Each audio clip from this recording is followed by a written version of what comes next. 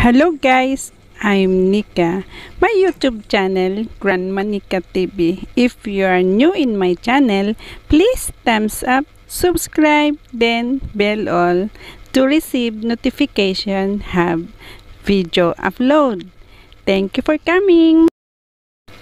Today guys, we're going to cook this water trap stock. Some people call buffalo nuts or ling nuts. In Chinese, we call ling kok.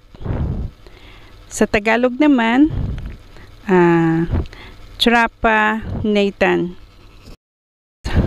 Very nutritious and a lot of benefits when we eat this because low of calories and then reduce also risks of stress and help fight cancer uh, and most this lingkok uh, Chinese people eat during mid-autumn festival.